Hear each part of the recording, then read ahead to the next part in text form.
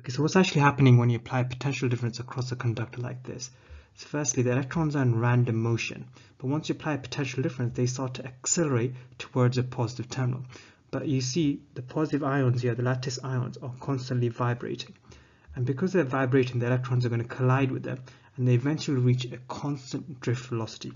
Okay, we saw that provided the temperature does not change, according to Ohm's law, the potential difference and the current are directly proportional. So if you double one, you should double the other.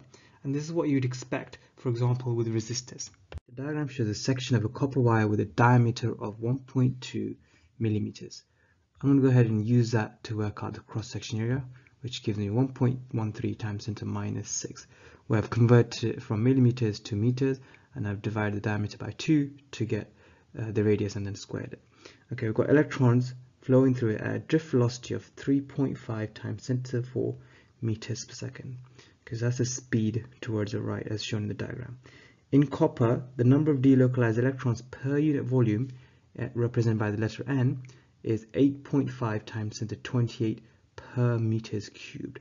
Okay, this number here, the number of delocalized per unit volume is what we call the charge carrier density.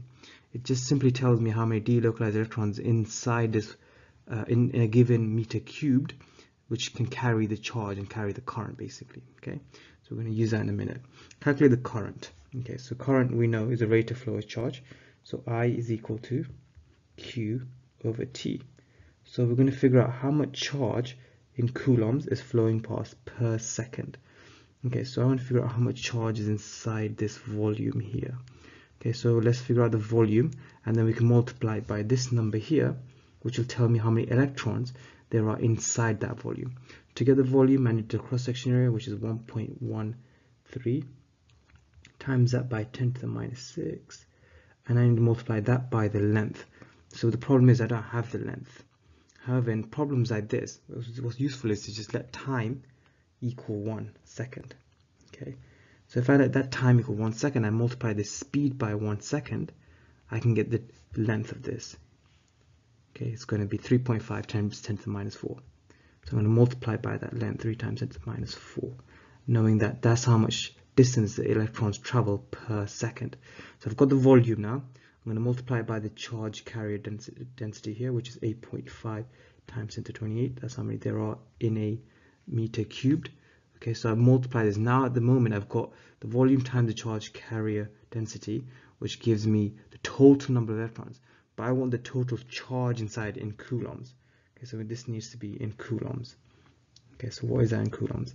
So I know that this is the number of electrons. I need to multiply this by 1.6 times 10 to the power of minus 19 coulombs because that's how much charge each electron has. So I've multiplied the total number of charge by the, the charge of each electron and that should give me 5.38 coulombs per second because I'm dividing it by the time um, one second here. So that is my current. Okay so, okay, so basically in the last question I derived this equation here. So I said that the current is going to equal the charge carrier density, which is the number of electrons per unit volume, times the charge of each charge carrier, which is in this case the electron, so it's going to be 1.6 times 10 to the power of minus 19 but it doesn't have to be this. Depends on what's carrying the charge. Times the drift velocity in meters per second. Times the cross-section area in uh, meters squared